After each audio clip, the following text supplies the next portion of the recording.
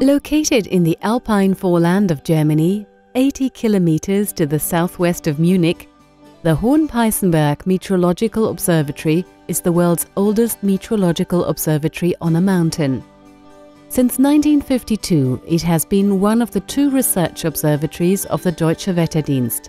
Some of its measurement series reach back as far as 1781, when the monks of the nearby Rottenbuch monastery began to regularly observe the weather from the top of the Mount Hoher Peißenberg.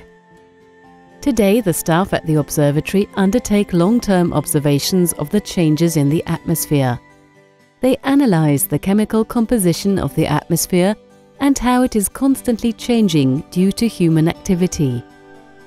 Since 1993, one of the observatory's key tasks has been to contribute to the Global Atmosphere Watch program of the World Meteorological Organization. Within the framework of this program, 80 countries jointly observe the effects of human activity on the composition of the air. For the purposes of the Global Atmosphere Watch, the Hohenpeißenberg Meteorological Observatory measures the concentrations of different trace gases and aerosols in the atmosphere and also the pollutants contained in precipitation, which all play a role in the chemical processes in the atmosphere, such as the greenhouse effect. Nitrogen oxides as trace gases are, for example, largely responsible for the formation of ozone.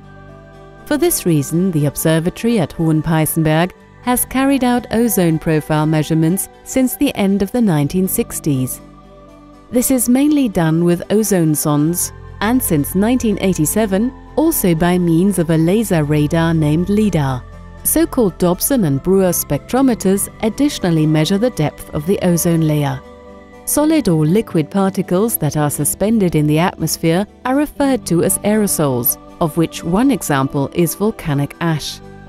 Volcanic ash requires particularly careful monitoring because if it occurs in high concentrations, it poses a great danger to aircraft. This is why the Deutsche Wetterdienst has established a volcanic ash evaluation center at Hohenpeißenberg. A network of so-called ceilometers collects information about where and at which heights aerosol layers are located. Additional LIDAR, laser measurement systems, are needed for identifying the type of aerosol. These instruments can differentiate between ash, dust and other aerosols. This makes it possible to determine the concentration of volcanic ash over Germany very shortly after a volcano has erupted. Hohenpeißenberg is the only station in the world that has been monitoring the atmosphere's chemical power to clean itself for almost 20 years. For this purpose, measurements are carried out to determine the hydroxyl radical, a substance which transforms air pollutants in the atmosphere into water-soluble substances that are later washed out by precipitation. Since 2016, the observatory has also been monitoring greenhouse gases such as the familiar carbon dioxide. This is done within the framework of Germany's Integrated Carbon Observation System Network, ICOS, established for the long-term observation of greenhouse gases from tall towers, mountain tops and ships and along the coasts.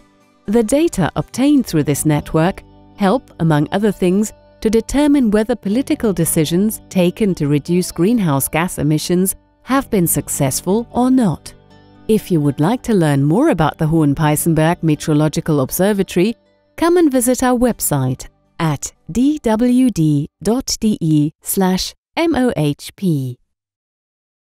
Deutscher Wetterdienst for both weather and climate.